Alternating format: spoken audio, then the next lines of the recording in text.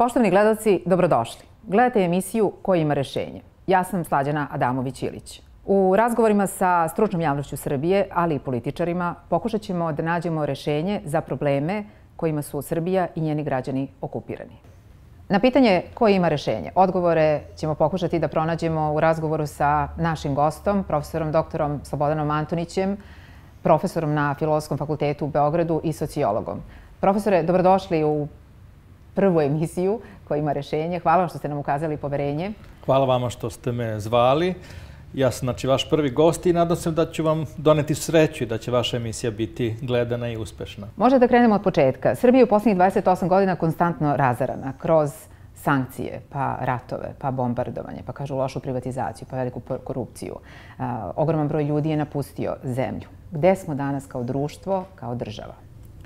Pa da, mi smo razarani uh, iz polja, ali i iznutra. Uh, desio se taj raspad zemlje koji uvek uh, prolazi sa time da morate nešto da izgubite ili da, da, da, da imate neku vrstu štete. Ali sa druge strane, naši političari, naša politička elita i uopšte naša društvena elita donosili su mnogo pogrešnih odluka za tih 28 godina, uh, Ali moram reći i običan narod da nose pogrešne odluke. Dakle, onda kada je glasao i na izborima, kako je glasao i kada, recimo, nije hteo da izađe na izbore i da glasa. U svakom slučaju, da, napravljeno je mnogo štete i mi smo sada zapravo jedno veoma siromašno društvo. Društvo koje po mnogim parametrima se nalazi na samom dnu evropskih zemalja, po nekim pa parametrima i smo i poslednji. Kažu recimo po prosečnoj plati, da smo mi mm -hmm. poslednja zemlja u Evropi. E, a sa druge strane, opet, e, izgubili smo i neku vrstu suvereniteta, samostalnosti, slobode. Nama zapravo na ovaj ili ovaj način upravljaju stranci. Tako da smo mi onda istovremeno i siromašni i nismo slobodni. I to je, mislim, naš glavni problem. I da se vratimo na naše političare. Ka kako biste ih opisali kao sociolog, političare, srpski političare koji možda poslednjih 20 godina se naizmenično smenjuju na vlasti? Pa moram da kažem da javni službenici, recimo ministar zapravo mhm. znači neko ko zapravo služi javnom interesu. Oni moraju da imaju dve osnovne osobine. Oni moraju da imaju znanje i moraju da imaju određene kvalitete koje se tiču privrženosti i morala, privrženosti pre svega javnom interesu. E sad, kad posmatrate naše političare, vidite da su oni ili spadali u onu grupu koja nije baš najbolje razumela šta se dešava u okolini, u svetu, nije bolje, najbolje razumela naš pravi položaj, ili su to zapravo ljudi koji su bili veoma, uh, veoma nepromišljeni kada je u pitanju javni interes, ili su ga zapravo zapostavljali zarad svojih privatnih interesa. I to je, to je problem naše političke elite. Da li se možda negde u stručnim krugovima zna ko su ljudi koji su možda najviše štete naneli Srbiji? Pa, nažalost, ima ih dosta. Prvi koji mi pada na pamet jeste Mlađan Dinkić. On je čovek koji je ugasio četiri najveće banke koje su postale u Srbiji. On je doveo do toga da danas u Srbiji zapravo vi, da vam bankarski sektor u potpunost pripada strancima. I sad, ja nisam ekonomista, ali ovi ekonomisti koji, tako da kažem, razmišljaju svojom glavom i nisu na neki način kupljeni, oni kažu, pa kako može zemlja, kako može država da se razvija ako ne kontroliše, nema svoje banke, ako ne kontroliše bankarski sektor, kako može da se razvija, kako, kako može da investira, da ulaže. Dakle, pošto imamo sve strane banke, a vi znate te strane banke sav, svu dobiti iznose iz, iz, iz zemlje. Onda su mi, mi naravno u poziciji da ne možemo kontrolišemo, znate šta, ne možemo kontrolišemo recimo zajmove koje banke treba da daju privredi, da bi se privreda upustila u neke poduhvate. I sad tako, kad to govorite, nadovezat ću se na, na sledeći podatak. Statistički biro Evropske unije Eurostat nedavno je upozorio da oko pola miliona stanovnika naše zemlje mesečno preživljava sa 12.000 dinara i da je u riziku od siromaštva 400.000 dece. I to je to. Kako smo kao država, kao društvo to dozvolili? Gde je ta politička odgovornost? Gde je ta empatija prema običnom građaninu, prema toj deci koja možda večeras, znate, ne, ne, nemaju večeru? Da, da. Problem, pazite, problem tome što ima tako mnogo tih pogrešnih odluka. I čak je napravljen zapravo jedna vrsta sistema gde onda taj sistem ne funkcioniše čak ni približno normalno. Osnovni problem, mm -hmm. ali problem koji se to može relativno brzo rešiti, jeste ta takozvana sistemska korupcija. Sistemska korupcija podrazumeva da vi, da vam se stano novac znači pre svega javni novac, državni novac odliva. Vi skupite novac preko poreza i tako dalje, a onda taj novac ide na sve strane. Zapravo ne ide na sve strane, nego imate jedan deo koji, koji obavezni deo koji ide za korupciju. I sad, mislim, vi znate, to je, to je javna tajna. Sve što hoćete da uradite, vi neko, neko morate da date određeni procenat. I sad, izvinite, samo da kažem ovo. Minimalni taj procenat je 10%. Minimalni 10%. Šta kao šta je 10%? Pa dobro, to ćemo da računamo u troškove. Ali rec, uzmite recimo naš budžet. Naš budžet je 10 milijardi evra.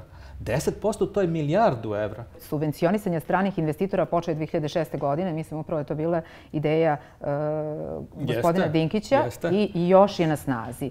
Prodali smo gotovo sve naše fabrike, tako da ispada da mi sada radimo za strance i što je uh, i, i, da, i da kupujemo strane proizvode. Prvo, to je neravnopravni položaj naših preduzetnika u odnosu na strane preduzetnike. Bilo bi recimo, ajde, da postoje neka vrsta tržišta ili konkurencije, pa da i, i naši preduzetnici i strani preduzetnici mogu da imaju tu vrstu dotacije. Ali ne, to mogu, to mogu da imaju samo stranci. Kad pogledate koliko oni dobiju za svako radno mesto, a to vam je 10.000 evra, najmanje, neki su dobili mnogo više. I pazite, onda to znači da će oni u prvih nekoliko godina imati potpuno besplatnu radnu snagu. Dakle, oni dođu ovde na potpuno besplatnu radnu snagu, pa sa tim uslovima zapravo ja mislim da, da je lako praviti biznis. Kako je moguće da mi ne štitimo svoje interese? Reč je o tome da smo mi u jednom položaju koji je on, to nije klasična kolonija. Znači, u klasičnoj koloniji vi imate stranu zastavu koja je zabodena na glavnom gradskom trgu. Znači, imate i strane trupe koje vam paradiraju, paradiraju glavnom ulicu. Znači, to nije klasična kolonija, ali to jeste jedan uh, neokolonijalni sistem zapravo, gde sad tu funkciju kolonijalne uprave obavlja domaća elita. I onda se ona u sociologiji naziva kompradorskom elitom. Znači, to je elita koja zapravo služi strancima.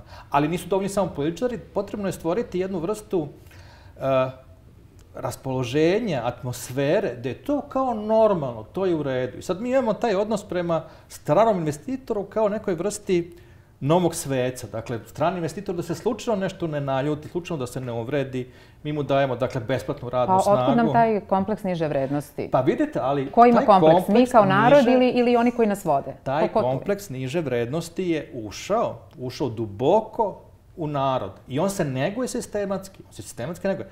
Evo recimo, ja sam se nedom vozio sa taksistom, taksijem i onda taksista priča i kaže ja, on, ovo ništa ne valja ovde, mi smo jedna lopovska nacija, mi smo jedan najgori narod, nama treba da dođe neki Nemac, pa da on uprlja. Svi smo mi, kaže on, lopovi. Ja sam mu rekao, čekajte, ako su svi Srbi lopovi, pa jeste i vi lopovi isto? I on je učutao. Nije tačno da su svi lopovi, nije tačno da su svi nesposobni, Potrebno je samo napraviti odgovarajući sistem pa da vidite kako će to funkcioniše. Naravno da nisu svi lopovi jer nam govori i podatak da Srbiju godišnje napusti u oko 35.000 ljudi. Kažu procene organizacije za ekonomsku saradnju i razvoj su da je od 2000. godine pa do sada zemlju napustilo oko pola miliona ljudi. To je jedno krvarenje, znači to mhm. je odliv krvi i ako imate duže da traje taj proces, ta, to, to biće će da umre. Dakle, mi imamo stvarno ozbiljan problem. Pazite, naravno, to, nešto toga je i objektivno. Uh, vi imate u centru Evrope jednu ogromnu zemlju, mislim na Nemačku, koja ima koja ima problem nedostatka radne snage. Oni žele da, da, da njima dođu, dakle, ne ljudi koji su potpuno druge kulture, druge mm -hmm, religije, koji mm -hmm. se neće i ne mogu asimilovati, adaptirati. A vi znate, mislim, nažalost, nažalost, ili prosto smo mi takvi, mi kad odemo negde u neku, u neku zemlju, već naša deca slabo govore srpski, a naši unuci, unuci naših iseljenika, postaju potpuno asimilovani građani te zemlje. Dakle, oni potpuno znaju da ako odavde ode 500.000, recimo, u Nemačku, da će u drugoj ili trećoj generaciji to biti Nemci. Ako, ako, dođe, ako ode iz Afrike ili iz Bliskog istoka 500.000 nekih drugih iseljenika, oni neće ni kroz tri, ni kroz četiri generacije biti ništa drugo nego kao ovi njihovi preci koji su tu došli. Da li to, profesore, znači da, da je zapravo i Evropskoj uniji, posebno Nemačkoj, odgovara, da. uh, odgovara slaba Srbija, ne odgovara jaka pa, Srbija? mislim da, ona odgovara Srbija koja je taman toliko slaba da iz nje odlaze oni ljudi koji oni mogu naravno dobro da ili bolje da plate nego što, nego što bi živeli, nego što bi imali u Srbiji. Oni zapravo žele da i Srbija bude ne sad potpuno siromašna, jer ko će da kupuje njihovu robu, razumete? Ko će da kupuje nemačku robu ako mi nemamo novca da to platimo? Znači, to taman tako, otprilike da nas drže sa tim platama 200, 300 evra, Znači da imamo nešto tek toliko da, da moramo da trošimo pare za hranu, je li tako? Za ono što oni mogu da proizvedu, dakle neka vrsta te industrijske robe koji čak ne moraju da oni prave u to u Nemačkoj. Oni će da naprave to u Kini pa će nama da prodaju, razumete? Ta ideja da će stranci nas da razviju, razumete? Kao stranci će da dođu pa će da razviju Srbiju. Pa da li, oni, da li, da li će iko da radi u korist sobstvene štete? Kako profesor okupiti tu patriotsku elitu, kako vi kažete? Ja mislim da je veliki potencijal i u srpskoj dijaspori, a skoro da nikada ne čujemo od političara da računaju na srpsku dijasporu i da bi možda veliki broj ljudi koji je otišao, vratio su u svoju domovinu, upravo to nedostaje im porodica, roditelji, mislim svoja zemlja, stranac, gde goste u bilo kojoj državi ste uvek stranac.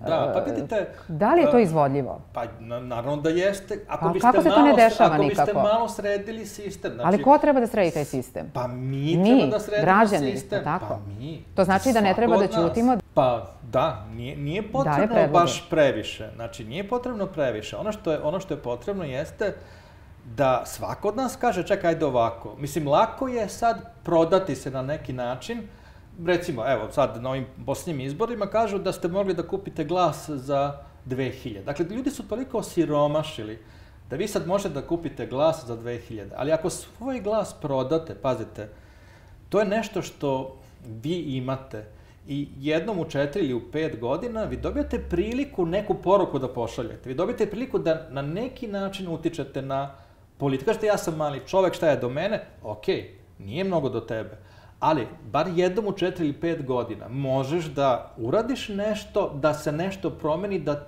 svima nama bude bolje. I tebi i svima nama.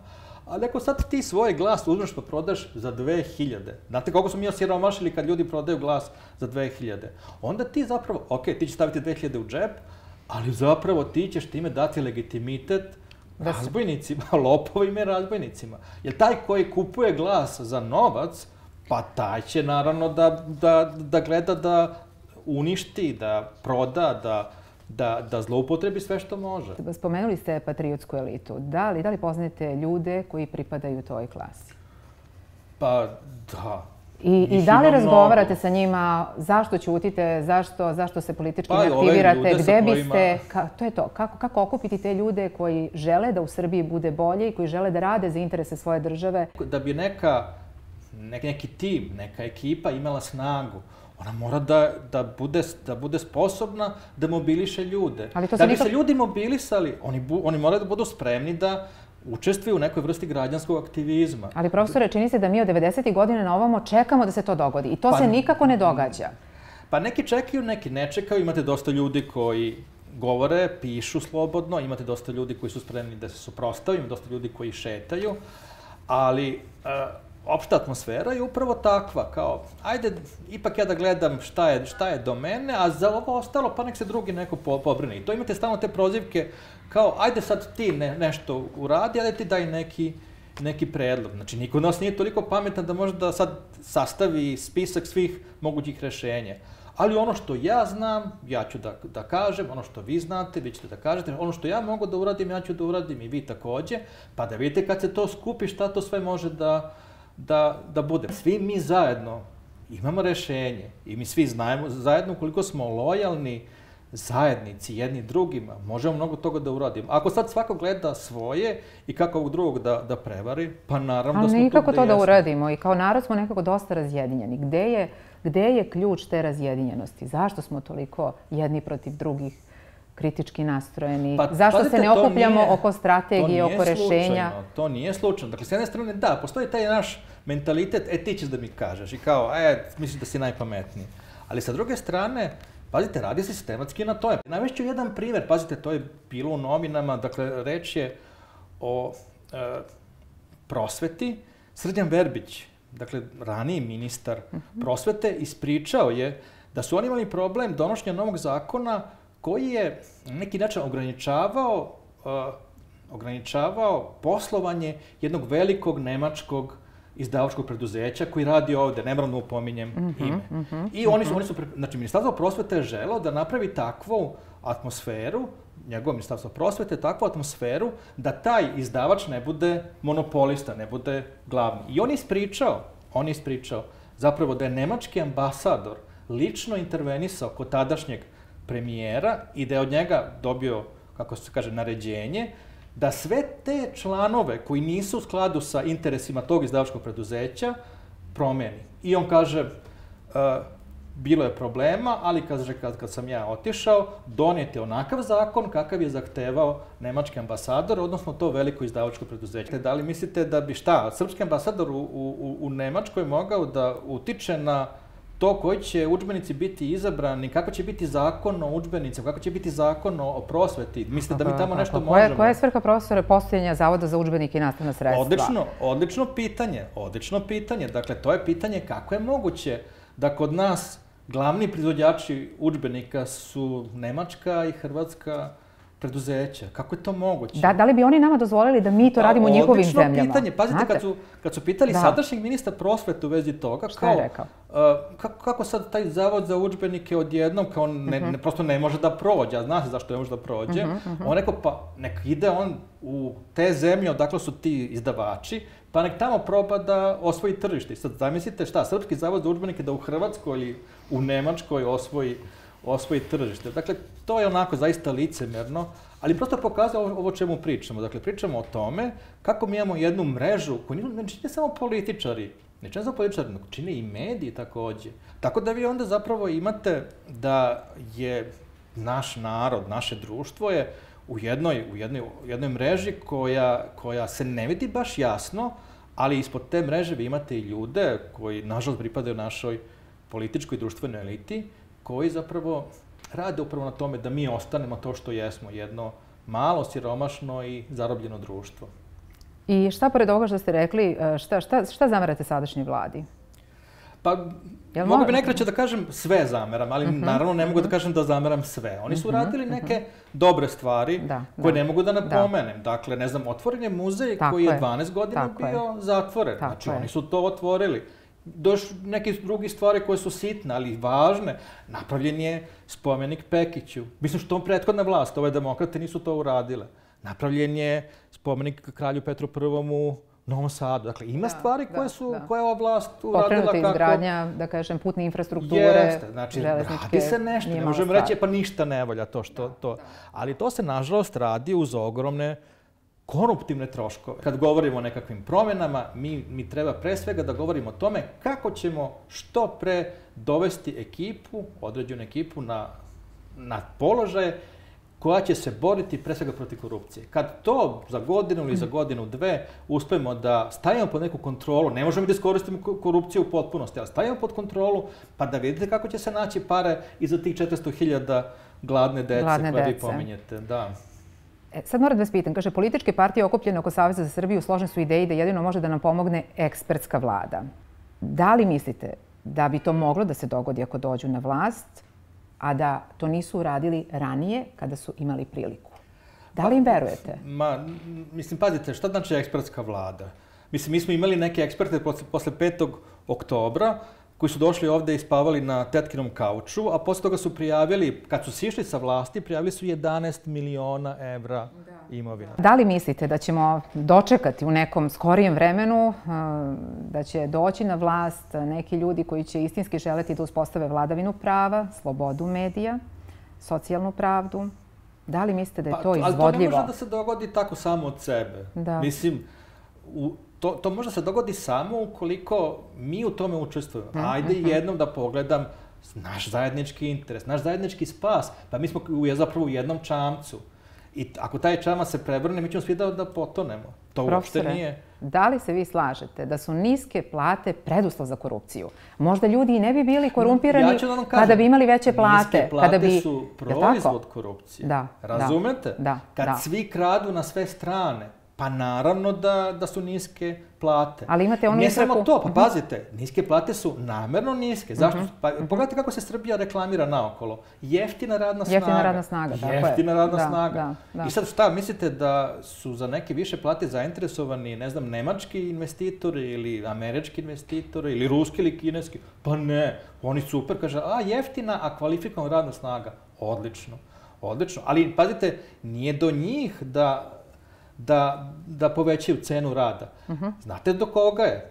Pa pazite, reč o tome, ja sam o tome nešto i pisao, reč o tome što naše, naša vlast sarađuje sa stranim kompanijama u tome da se tamo ne stvori ozbiljan sindikat. Da bi se sindikat registrovao, oni moraju da, da prvo sakupe određeni broj inicijatora i onda prijave to uh, odgovarajuće ministarstvo. E pa stvar u tome što iz tog ministarstva oni jave uh, stranim poslodavcima koji radnici se spremaju da naprave sindikat. Ima nekoliko slučaja bilo I šta, i onda te ljude otpuste? da i postoji jaki sindikat u tim, u tim fabrikama, pa da naprave obustavu rada, da vidite kako bi, se plate, kako bi plate skočile. Ali nema ni sindikata, nema sindikata, pa nema, onda su plate takve kako jesu i to vam je to. Kako vidite rešenje kosovsko-metohijskog problema? A, Da li postoji rešenje, a, i da se osvrnemo na to da je Srbija kroz vekove mnogo stradala i da imala, nalazila se u mnogo težim situacijama i da je uspela i da sačuva svoju teritoriju i da pobedi velike okupatore i da sačuva svoje stanovništvo na neki način. Pa vidite, naravno to jeste, to jeste komplikovan problem. Ali to nije nešto što ćemo da rešimo tako što ćemo šta, da se odreknemo tog dela teritorije, da kažemo da šta, naš ustav više ne važi, šta ima tih, tih 100.000 tamo naših ljudi koji, koji žive, nema veze. Dakle, ne možemo to rešiti na taj, kako kaže, varvarski, varvarski način, što ćemo sve da odsečemo. Zato služi politika. Politika kao umeće mogućih. A mi zapravo imamo utisak da smo zadnjih 20 godina vodili jednu politiku koja je stalno davala neko, neke vrste ustupka, čak i onda kada se nije tražilo, recimo ovi briselski pregovori, gdje smo mi dali sve, a za uzvrat nismo dobili ništa. Dakle, sad se mi žalimo, kažemo kao ova druga strana ništa nije ispunila. A sad, pošto su nam te kao dodatne carine od 100%, sad kao uslov daljih pregovora mi sad tražimo samo to da oni ukinu te carine, što su umeđu vremenu napravili vojsku, što umeđu vremenu, dakle situacija se na terenu, terenu pro, promenila, umjesto da tražimo da se vrati prvobitno stanje koje je postojalo na, na terenu, ne ništa. Dakle, loši smo pregovarači ili prosto to takođe nije, nije slučajno. Jeste to komplikovano pitanje, ali uz jednu pametnu državnu politiku i to je nešto što se da rešiti. Kako vidite odnos Srbije prema Evropskoj uniji, Rusiji, Sjedinjenim državama? Kakve Pa, su te relacije? Kini. Kini, Kini, Kina, tako Kina, je. Pazite, Kina je zemlja koja po predviđanjima će vrlo brzo postati prva ekonomija sveta. Uh, istina, i Kina i Rusija su daleko, mi smo okruženi ovim zemljama koji su saveznici Evropske unije ili su u Evropskoj uniji, oni su saveznici Amerike ili su u Evropskoj uniji ili su sad u NATO paktu i to uopšte nije lak položaj. Mi smo u jednom ipak složenom Da. Ne samo da smo okruženi, mislim, geostrateški m, susedima koji, koji nam nisu prijateljski, nego zaista mi imamo protiv sebe vrlo opasne nacionalizme. Hrvatski nacionalizam, albanski nacionalizam i muslimanski, odnosno bošnjački nacionalizam. To nisu nacionalizmi kao recimo belgijanski ili holandski. To su nacionalizmi koji vam stvarno rada o glavi. Pa da neko misli stvarno da, šta sad, ako hrvatski tenkovi, kao NATO tenkovi krenu od njihove granice kroz Srem, pa oni će biti ovde u Beogradu vrlo brzo. Šta, mislite, kakvi će biti hrvatski okupatori ovde? Dakle, moramo da vodimo računa o tom što sam rekao, da je naš položaj težak. Naš položaj je težak. Mislim, mi smo kao, kao narod u jednom ozbiljnom položaju i moramo da budemo veoma pametni, veoma mudri. Ali da bismo to bili, mi moramo prvo da vladamo svoje sudbinom, da odlučujemo sami o sebi, a ne da budemo jedna vrsta, kao što sam rekao, kolonije, gde stalno nam nešto sa strane naređuju, daju nam upustva što treba da radimo i stalno to radimo uh, u korist sopstvene štete. Pazite, Turska u ovom trenutku ima 400.000 ljudi pod oružjem. Oni i dalje imaju, Turska, oni i dalje imaju redovan vojni rok. Znači, mi imamo 16.000, ne samo vojnika, to su vojnici, oficiri i tako da, to, to nije čak ni 16.000 ljudi pod oružjem. Ta Turska ima 400.000 ljudi pod oružjem. Da Turska sad krene ona bi bez problema došla do, do Beča imajući u vidi u kakvom smo mi položaj, odnosno kakav, kakav, je, kakav je položaj ovih raznih balkanskih zemalja. To, to, to ne kažem sad zato i da bismo mi sad napravili nekakvu veliku vojsku, nešto. A to samo, to samo pokazuje da mi moramo da budemo sposobni da se sami koliko toliko branimo dok nam ne stignu saveznici, je li tako? Dok, dok, ili da, da, da, imamo, da, imamo, da imamo jaku, jako odvraćanje da neko shvati da ipak ne može tek tako da dođe ovde, da zaposledne, zaposledne Srbiju. Ovo pričam zbog toga što su to sve mm -hmm. bili problemi. Znači, niko, niko od nas ko, nije... Ko, ko bi tu trebalo da bude pomiritelj? Da li mi možemo da živimo u dobrosusedskim odnosima, da sarađujemo, da, da, da mlade generacije ne žive u tim sukobima kao što smo mi živeli 90. godina? Je, je li moguće pomirenje? Je mo... Pa, čekajte, ali pazite, to, to se pitanje, Ili to mora da bude dvostrano? To se pitanje mm -hmm. postavljalo i 918. Mm -hmm. i 945. godine i evo sad se postavlja ja mislim da mi ne treba da, da budemo nešto preterano naivni, da nešto posebno očekujemo. Ono što je bitno jeste, nemojte da nas dirate. Znači, nemojte da dirate naš narod tamo i nemojte da dirate nas ovde. Ako možemo to da postignemo, uzajemno poštovanje, da. uh, ne mora ništa da se sad nešto posebno volimo i šta znam, mi smo svi braće i tako dalje. Jeste, mi smo svi ljudi i mi moramo da se međusobno poštujemo, ali Pazite, pa kako... kako A da kome odgovara, profesore, da konflikt? Možete, Izvinite, da mislite... političarima odgovara konflikt? Običnom narodu, Ma, običnim čekajte, građanima da odgovara mirno stanje? Da mi možemo da se pomirimo sa društvom gde je nacistička, ustaška ideologija gotovo zvanična, da je ona zahvatila, da, da. zahvatila po dubini društva. Pa da li znate da su u Zagrebu na maturi, kad slave maturu, da se uzvikuje za dom spremni, da se pevaju ustaške pesme. Zbog čega to promoviš? Zbog čega to dozvoljavaju? Za, za, zašto, neću zašto, da ulazim u to, da. to je njihov problem. Da. Ali kako možemo da se pomirimo? Dakle, da. ono što možemo mi da uradimo jeste da se zaštitimo. Hoću da vam kažem da, da možda su političari ti koji prave tu negativnu uh, atmosferu između Srbije i, i Hrvatske. A da li, bi, da li mislite da, da, da obični građani žele da... Pa čekajte, su obični građani stajali na obali da, da i gledali onoga čoveka u vodi. Da. I niko nije htio da mu pruži ruku, samo jedna devojka, a oni da. su dobacivali kao ipak je to četnik. Onda on vikao nisam ja da, Srbija, ja sam da, Crnogora. Da. Obični građani, nisu to političari, to su obični građani. Mi nismo bili takav narod koji je uh, strpao šest miliona jevreja u gasne komore. Znači, da. nismo baš, da, da. nismo baš ni najgore, ali nismo... Da, da. Znači, postoje određeni kvaliteti koji mogu da dođu do izražaja samo ukoliko se upristojimo, tako da kažem, postanemo jedno jedno uređeno i pristojno društvo, pa da vidite kako će ona biti bolje. Nećemo živjeti možda kao Nemci i imati, ne znam, 3 ili 4 hiljade evra platu, ali ćemo živjeti jednim normalnim, opuštenim životom, pa mislim, iskreno čeno, život u Srbiji stvarno ume da bude jako, jako lep, samo kad ne bismo imali ove da, probleme da. kojim upravo mi sad razgovaramo. Profesore, kad govorimo o stanju društvu, za kraj ovog našeg razgovora, moram da vas pitam i da kao sociolog nam date neko svoje stručno mišljenje, a tiče se emitovanja reality programa na televizijama sa nacionalnom frekvencijom. E, tiče se dnevnih listova pojedinih koje, koji na naslovnim stranama promovišu neprimereni sadržaj. E, prostitucija, nasilje, primitivizam. Koje su posledice, posebno po mlađe generacije koje odrastaju gledajući to? Ta, ta stvar je nedopustiva. Dakle, da mi imamo jedan normalan sistem, ono što bi prvo trebalo da urodi regulatorno telo koja se bavi, bavi medijima jeste da to zabrani, to ukine. Dakle, zabrana, da, zašto da ne? Zabrana, naravno. Pazite, to je jedna vrsta, ne želim koga da uvredim, ali jedna vrsta svinjca. Dakle, to je, imate direktan prenos iz svinjca taj svinjac, ljudi su postavljeni u to, razumete? U jednu situaciju u kojoj su da, čak oni da, nagrađeni da, ako se ponašaju da. kao svinje. Prvo što bi roditelj trebao da uradi jeste Ako ne može da kontroliše to, da iznese televizor iz kuće. Kako kad imate i roditelji koji to gledaju? Opet moram da kažem, to nije slučajno. Da. Dakle, to je jedan način da sad vi jedno, jedno društvo u kome je prosječna plata 200 evra, da ti te, da te jadne ljude koji sad moraju da žive od toga, da. da ih nekako anestetirate, zato da prvo da ih dovedete u situaciju da ne razmišlja ni o čemu. Dakle, on uveče to gleda, ujutro ode na posao, posle dođe uveče to ponovo gleda. Ako kupi tabloide, kao što ste vi rekli, na naslovnim stranama on vidi priče o tim učesnicima tog, tog uh, reality showa I eto tako. Znači, to je taj, to je taj život, niko se ne pita, ili može malo drugačije, ili može nešto drugo. I mi svi polako postajemo jedno društvo svinja, što je zapravo strašno. To je strašno.